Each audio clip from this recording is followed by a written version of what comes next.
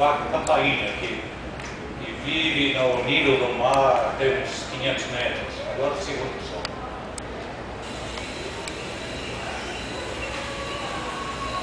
Mais rápido. Ele vai subindo, subindo, subindo de frequência. Bem diferente do primeiro. Ele não tem os coaches no final.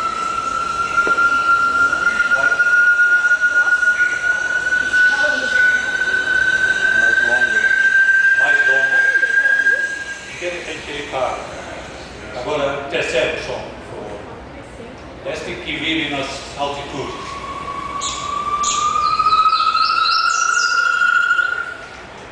Bem mais curto e estrutura diferente.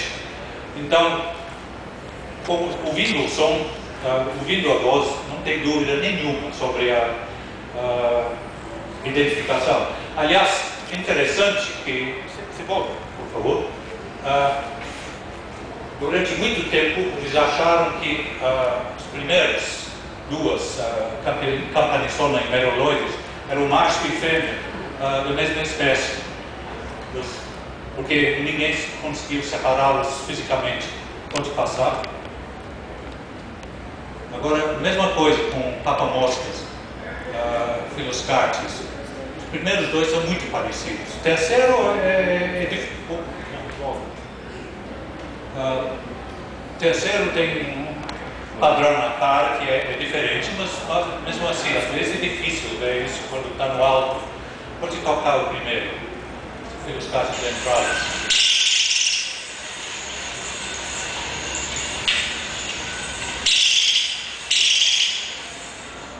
Agora, segundo Philip Scott Cronin, completamente diferente. Encontramos esse Filoscate Crone uma vez em Santa Catarina, normalmente fica na restinga, na beira do mar. Nós achamos na serra. E a gente nem o reconheceu. a gente achou que era Ventralos. até que ele cantou e nós gravamos e comprovamos que era Crone mesmo. Então pode tocar a terceira.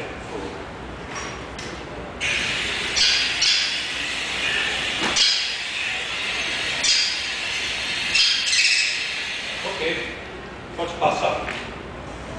Agora, essas duas espécies são muito difíceis. Eles voam alto, voam rápido.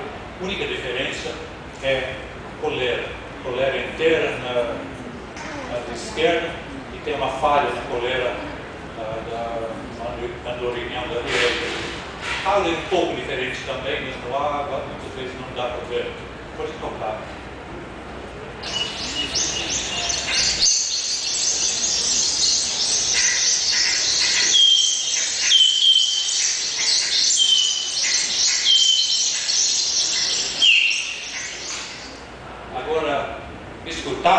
eu gravei, uh, fiz esta gravação na Serra de Capivara, tinha um bando de uns, não sei, uns 50, fim da tarde, eles mergulharam, entraram numa fresta uh, nas pedras para dormir. Então dá para ouvir o barulho deles descendo e final, um gritinho no, no, no final. Depois de tocar a segunda.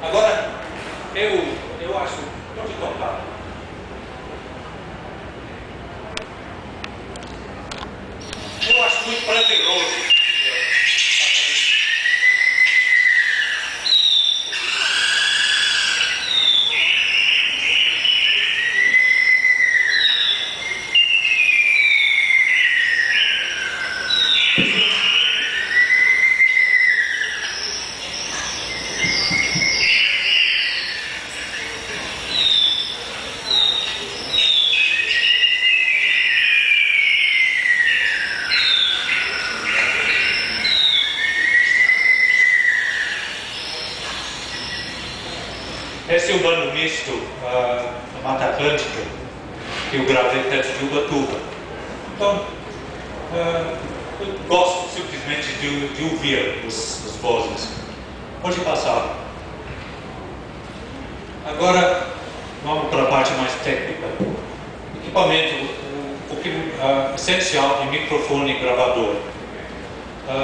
é importante também uh, não segurar o microfone na mão, mas fazer ter algum suporte, preferivelmente com elástico, alguma coisa assim, para não transmitir vibrações pelo microfone. Fone de ouvido, uh, os especialistas dizem que é essencial quando você grava, ouvir o que você está gravando. Eu fiz um curso nos Estados Unidos, falaram isso para mim, eu não concordo, eu não gosto. Uh, eu, se você tem fone de ouvido, você não vai ouvir o que está acontecendo em volta. Mas tem pessoas que, que usam. E finalmente, uh, se o gravador não tem uma caixa acústica interna, ou não tem uma caixa acústica interna possante, você vai precisar de uma caixa acústica para reproduzir os sons no campo para fazer playback. Pode passar. Microfone tem basicamente, eu vou, vou, simplificar isso bastante, mas tem três uh, tipos básicos. Este, que você pode usar para gravar, mas não é muito bom. Segundo é direcional, que é um tubo comprido, que tem uh, rasgos feitos de um uh, tal jeito que pega os sons da frente e pega menos os sons das, da, do lado. E finalmente, uh, o melhor é usar uma parábola, um refletor. E para isso você precisa de um microfone omnidirecional.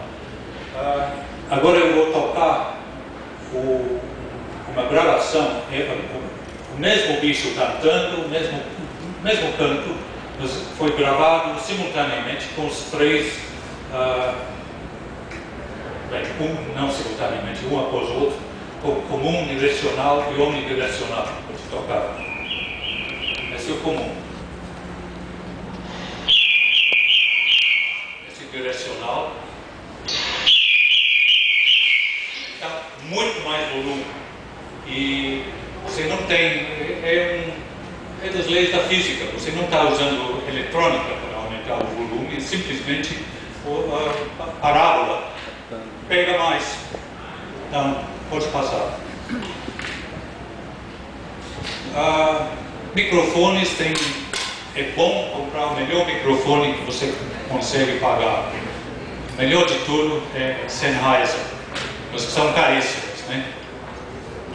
E você pode duplicar esse valor se você vai comprar no Brasil.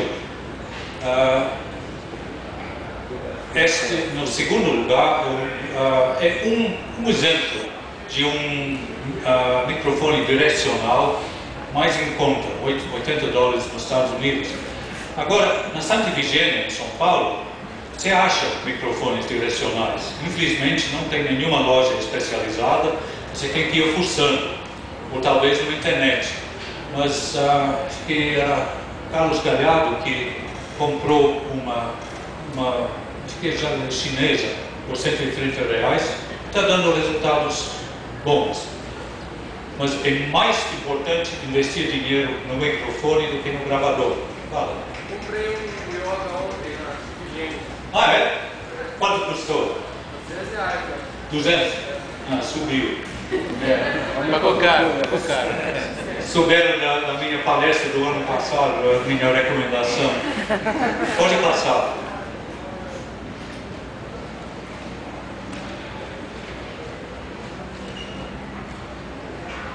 O gravador que todo mundo usava era o famoso TCM 5000, que grava em fita cassete. É um bom gravador, mas acho que nem produz mais, acho que saiu de linha. Mas eu acho que ninguém deve usar uh, gravador de fita cassete se, cons se conseguir uma, uma coisa diferente, porque eles têm um chiado da fita que você não evita e também não grava muito bem as frequências altas. DAT existia, mas acho que nem, nem fabricam mais. Uh, o talvez melhor gravador né, atualmente, questão de preço-benefício, custo-benefício, é o MD. O, hoje em dia acho que é o High MD. O uh, Ciro está usando, né? E você usa também. Você notou uma melhoria na qualidade? Tenho gravações antigas de, de TCM que eu não consigo limpar aquele chiado nem no, no Soundcore. É, não, é, é, é, difícil. E realmente é uma qualidade. Beija-flor e Cumulus, esses bichos com frequência alta, realmente fica muito melhor no RMD do que no TCM. É. Agora, um, MD também tá, o High MD tá, também está mais difícil para achar, eu acho, nos Estados Unidos do que antes. Eu acho que também está saindo de linha. Uh, e aqui é difícil. Fala. Existe uma discussão que o MD usa uma técnica de compressão de som que cria distorção? Não, ele não, não cria distorção. Ele elimina uma parte do, do som. Agora, a diferença é muito pequena. E uh, todo mundo usa iPod. iPod trabalha com MP3. Uh, então, todas essas pessoas que usam o iPod estão satisfeitíssimas, estão ouvindo música que não é o som original, foi comprimida e se perdeu um pouco. A meu ver, esse pouco é muito pouco. O único que era perfeito era o DAT, né? O DAT não fazia isso. Né? É.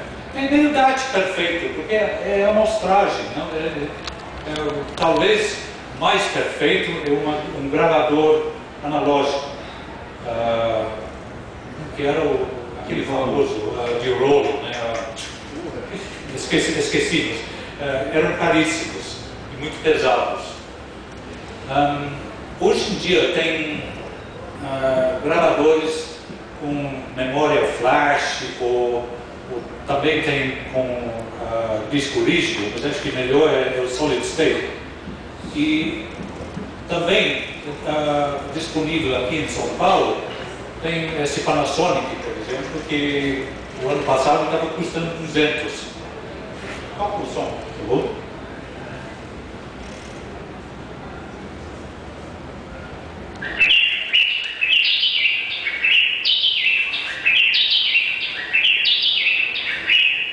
É, uma qualidade bastante boa. Novidade agora é o iPod. Eu nunca gravei com iPod e alguém gravou com. Você tem que comprar uns acessórios, mas eu vi na internet que não era muito caro, eram 22 dólares. Eu não sei como que é a qualidade. Uh, pode passar. Caixas acústicas uh, para playback tem esse tradicional Radio Shack nos Estados Unidos, alguém tem que comprar lá. Mas tem vários agora que estão no mercado, principalmente para o uso com iPod. Pode passar. Uh, não precisa anotar os, os endereços, porque acho que o uh, Guto vai disponibilizar todos os slides no, no internet, né, ali está.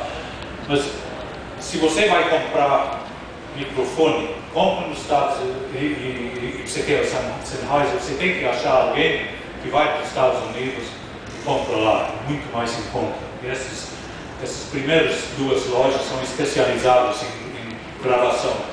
BH, acho que faz tudo. Pode passar. Agora, para gravar bem, a coisa mais importante é chegar o mais perto possível ao que você está gravando. Uh, se você reduz a distância pela metade, o, grava, o microfone vai pegar quatro vezes mais som, é um leite quadrado. Então esse, é o, realmente é o, o regra número um. Uh, Proteger-se de ruídos estranhos. estranhos. Uh, às vezes, se, se você está numa, situação bem comum, você está numa estrada, tem um rio no, no vale, recua um pouco, não, não fica na beira da estrada, uh, recua um pouco, tenta uh, esconder rio atrás da estrada, ou se tem uma pedra, ou um morrinho, tenta se esconder atrás. Isso faz uma grande diferença. Não fazer barulho é, parece muito óbvio, mas é, se você sai para gravar com uma outra pessoa que não está gravando, os primeiros 10 segundos aquela pessoa vai ficar completamente imóvel. Depois ele vai começar a ficar impaciente, vai começar a andar, vai pisar em folhas, etc. e vai estragar a tua gravação. Então, usar suporte para o microfone é muito fácil transmitir a vibração da mão para o microfone. Agora, é importante gravar tudo que está cantando. Não, não, não só fica esperando uma coisa diferente. Uh, nós estamos fazendo um DVD e nós tivemos falta de bem TV, de coluíra, coisa assim, porque as pessoas não gravam esses, esses bichos comuns. Você está cantando bem, dá para gravar bem, grava. E grava até o bicho parar de vocalizar. Porque você nunca sabe se ele vai mudar de canto, ou talvez outra coisa vai, vai cantar. E não faz mal, sabe? Fica o. A mídia é barato, sabe? Gravar cinco minutos, você quer paciência, você vai conseguir gravações muito, muito melhores. Você vai poder escolher o melhor trecho quando o vento estava ventando, soprando menos, quando o carro não passou, esse tipo de coisa. Finalmente, se você leva isso a sério, você tem que documentar suas gravações. Ah, no começo da sessão, fala a data, localidade, uma descrição geral do habitat. Impressionante, um ano depois você não lembra dessas coisas. Ah, especialmente se você gravou em vários lugares no mesmo dia. Após cada gravação, grava a hora, a espécie do que você está gravando. E é importante falar se a vocalização foi espontânea ou se foi estimulada por playback. Ah, no começo eu achei que estragava a gravação, que a minha voz lá, eu gravava em outro, outra, outro gravadorzinho. Mas é muito melhor documentar a tua gravação logo uh, depois da gravação mesmo. Depois tem esses opcionais que muita gente põe também. Pode passar. Uh, playback se usa principalmente para atrair o bicho por vários motivos, para fotografá-lo, para gravar melhor, ou talvez só para identificar o bicho. Uh, eu agora uso um iPod. Uh, pra, ou você grava na hora e toca e o bicho vem, porque ele acha que tem alguém no território dele. Ou você pode gravar, uh, ter uma vocalização pré-gravada e você está procurando o bicho, ele não está cantando, você toca essa gravação, se você tiver sorte, ele vai responder e vai aparecer. Eu uso agora o iPod, que é excelente para isso. Você conecta com uma pequena caixa acústica, você tem os nomes dos, uh, dos bichos, é muito rápido achar, muito melhor do que o sistema antigo com uh, cassete, você tinha que ir procurando. Uh, e tem esse site excelente, o Zenocanto, que você vai achar gravações de maioria dos espécies brasileiras que você pode depois carregar no iPod. Daqui a pouquinho, a pouco você vai poder comprar nosso DVD também e usar as vozes de lá. Pode passar. Agora, hoje em dia, o computador entrou no jogo. É muito importante. Ah, primeiro, você pode visualizar o som. Vou falar muito mais sobre isso daqui para frente. Ah, é muito mais fácil achar um, um, um arquivo num computador do que achar um trecho num fita cassete. Uh, você pode fazer cópias idênticas porque é digital. Você pode trocar gravações com outras pessoas ou por na internet. Muitas vezes eu mando uma gravação para uma pessoa uh, que eu não sei o que é, eu mando para Ciro, mando para Pacheco e ele identifica para mim. E finalmente, uh, você pode editar as gravações. Vou falar mais sobre isso daqui a pouco. Pode passar. Isso, uh, a conexão do gravador analógico, você tem que, quase sempre tem uma saída para fora de vídeo. Você põe na entrada de linha, o line in, na placa de som, nunca no microfone. Gra outros gravadores, esses modernos, realmente cada caso é um caso, se tiver no manual. Mas, normalmente com cabo USB. Pode passar. Isso é bem técnico. Eu não entendo pouco disso. Eu uh, pus embaixo, eu sublinhei uh, as taxas, resolução que eu uso. Uh, os programas de editoração têm essas opções, essas que eu uso. E se você usa uma taxa mais alta ou resolução mais alta, vai ocupar mais espaço uh, no, no, computador. Se você tem um microfone só, você está gravando em mono, então é besteira uh, digitalizar em estéreo. Você está só fazendo uma cópia à toa e ocupando o dobro do espaço. Formato de Wave, uh, de, de, do arquivo, Wave é mais fiel, mas ocupa muito mais espaço. Uh, MP3, eu acho que para a maioria dos objetivos, perfeitamente satisfatório. E o nosso DVD que nós estamos fazendo, todos os sons são MP3. Uma, uma gravação boa em MP3 é mil vezes melhor do que uma gravação ruim em Wave. Pode passar. Essas são quatro softwares gratuitos que são disponíveis. Eu uso Cool Edit 2000, eu acho excelente. Você pode baixar aquele endereço lá e se alguém quiser me mandar um e-mail, eu mando o, o, o crack. Eu não vou colocar na tela. Uh, eu vou mandar um programinho e um, um, e um assim, pode passar. Você acha o Quidditch melhor que o California? É, não, é, eu, pode voltar. Um, é, é, é, o que eu conheço. É, é, eu, eu, conheço o uso faz anos. Audacity dizem muito bom. O Ravenlight é feito por uh, Cornell. Deve ser muito bom. O Audacity eu já usei a, o resultado não é tão bom. Ele, ele, se propõe a fazer limpeza, edição e tal, mas quando você pega o resultado final e compara com o que você fez num programa melhor, não é a mesma coisa. É, pode ser. Distorce. O Cool Edit agora saiu do mercado, não vende mais, é Adobe Audition, que é o sucessor, mas é muito caro, acho que é 300, 400 dólares, alguma coisa assim. E que eu saiba, os coreanos uh, não estão vendendo ainda em São Paulo. Eu recomendo Edit. Pode passar. Pode passar. Agora, o sonograma é uma. Opa. Eu?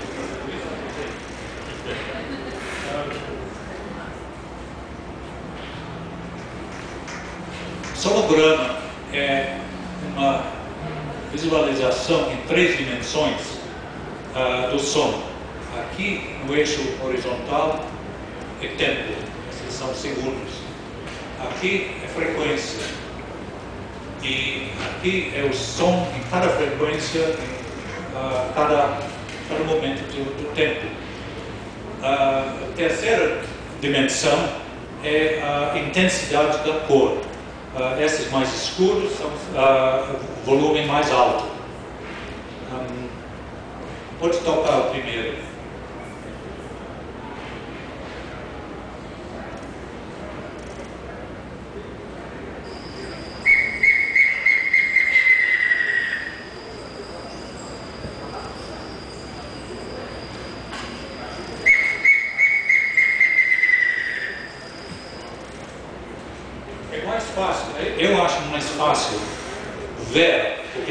Acontecendo.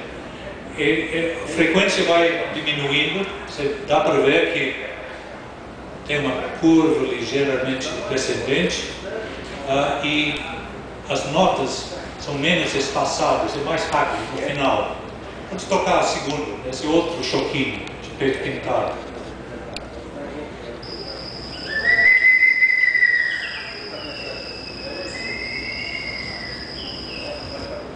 Eu tinha dificuldade em lembrar qual era qual. Eles vivem juntos no Mata Atlântica. E, mas depois de ver sonograma, eu não sei, para mim é muito mais fácil lembrar uh, o som, a vocalização. Pode passar, por favor. Aqui um exemplo do sannyasi, dois sannyasis. Pode tocar.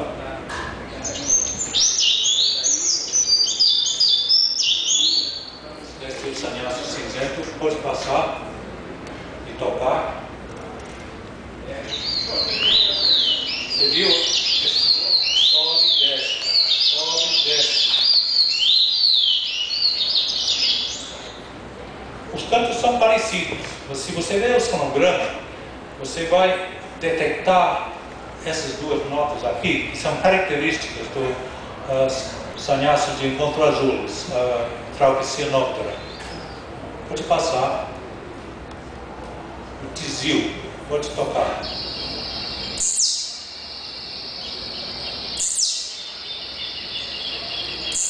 Agora com ah, o Lelito, ou outro programa, você pode ah, fazer um zoom e ver a estrutura do som. Pode passar, por favor. Aqui é cada nota. Você vê que um, aquele Aquele som rápido realmente tem uma estrutura bastante complexa. Pode tocar. Ah.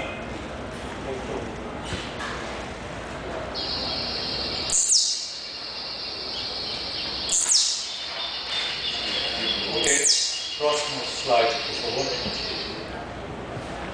Ah, tem, quando eu falo linear, chupa-dente, interessante, porque a mesma subespécie tem um canto muito diferente em São Paulo e no Rio. Realmente a linha é, é mais ou menos Itatiaia, Paraty. Ao sul dessa linha toca mais rápido, ao norte toca mais, mais devagar. Sonograma é excelente para uh, contar, calcular quantas notas por segundo faz, por exemplo. Pode tocar. Esse, esse tem 7,5 notas por segundo. Você, sem fonograma você não vai poder medir isso. Uh, próximo slide, por favor. Este é agora o chupa-dente do rio.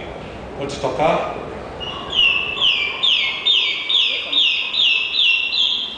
Muito mais lento e a estrutura da nota é, é diferente também. E, por enquanto é a mesma espécie. Pode passar. Uh, agora, um, edição de gravações. É, com o computador, você pode uh, melhorar a qualidade de gravação, mas não melhorar a qualidade de gravação, isso é quase impossível. Você pode eliminar as coisas que você não quer. Esta gravação eu fiz de uma vira-folha aqui na Serra da Cantareira, perto do aeroporto de Guarulhos. Pode tocar.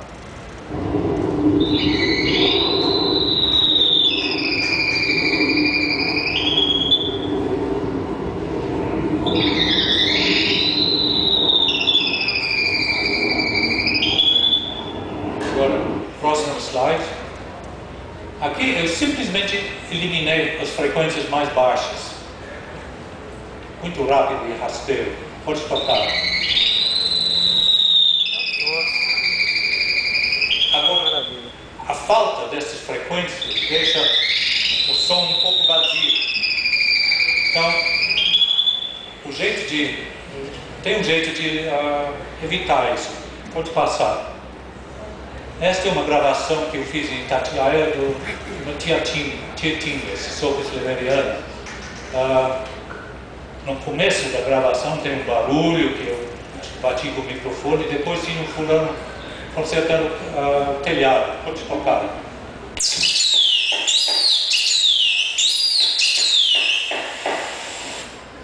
Agora, o canto, quase tudo acima de uns 2.500 Hz. E os barulhos que a gente indesejava são todos abaixo. Então, o que eu fiz foi de copiar uma, uma parte da gravação que não tem nem o fulano batendo, nem o bicho cantando, abri uma outra tela e colei lá, próximo slide. Colei um ao lado do outro até ter uma, uma gravação do mesmo, uh, mesmo comprimento, mas sem ruído. Próximo slide. Agora, cortei tudo acima de 2.200 Hz. Próximo. próximo. Esse, usando um filtro. Esse filtro tem as frequências aqui no eixo horizontal e uma porcentagem aqui no vertical. Nessas frequências, até 2200, passa tudo. Daqui para cima, corta tudo, passa zero. Próximo slide. A, a, na gravação original, eu fiz o inverso. Cortei tudo abaixo de 2200. Próximo. Aqui é o filtro que eu usei. Aqui é zero, lá na mesma frequência, pula de repente e passa tudo próximo. Depois eu colei um em cima do outro. É um tipo de colagem que só, só cola o som onde não tem som, não cola. Então não cola, não cola o, o, sem som em cima do som do tietito. Agora nós temos ainda um pouco do fulano batendo. Esse é ele aqui. Mas pode passar. Ah, esse é o filtro que eu usei. Esse é um filtro um pouco mais complexo aqui embaixo eliminou tudo, depois foi progressivamente eliminando menos, até chegar naqueles 2.200, passou tudo. Próximo. Bem, aqui é o resultado. Uh, qual é o segundo? Não é? Essa. Essa é a gravação.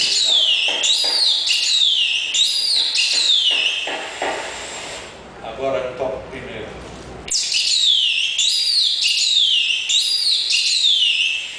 Então, não é, o som da, da ave não toquei, o resto consegui eliminar. Essa eu fiz com o Edit. Agora com a Adobe Audition, você pode uh, simplesmente escolher, selecionar uma área e colar imediatamente no outro, ou, ou, ou não, não, na, mesma, na mesma gravação. Você isso visualizando o sonograma. É, isso é visualizando em sonograma. Mas é, é, um pouco como o Photoshop. Você tem este sonograma na tela, mas você pode selecionar uma parte do, uh, da, do sonograma, colar em outro lugar no sonograma e você está fazendo a mesma coisa com o som. Não é só o visual, você está fazendo a mesma coisa com o som. Pode passar.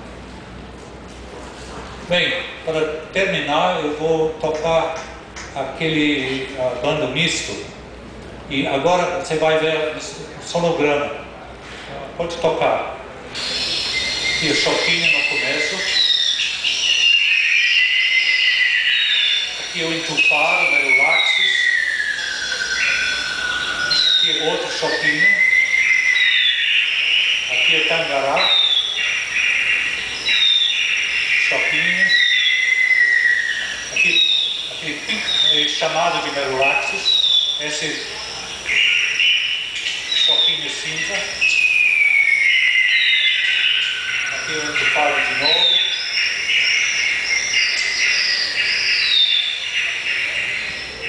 Próximo.